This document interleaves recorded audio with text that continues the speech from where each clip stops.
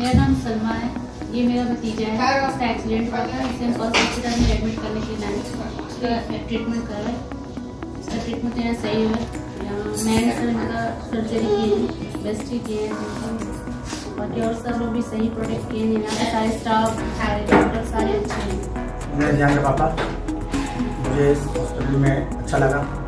जो हमारे बच्चे का ट्रीटमेंट हुआ। और स्टाफ भी अच्छे थे। हमें कोई दिक्कत नहीं कोई परेशानी नहीं। हुई और ट्रीटमेंट होने के बाद मैं अब मैं अपने घर जाना रहा हूँ लेके इसे। अच्छे से रखूँगा और अगर दरकार पड़ या फिर कभी मैं ये पल्स हॉस्पिटल में रिटर्न बैठ आऊँगा चेकअप के लिए। जितना जानता हूँ मेरे बच्चे का अच्छी हो। अच्छी यहाँ पे।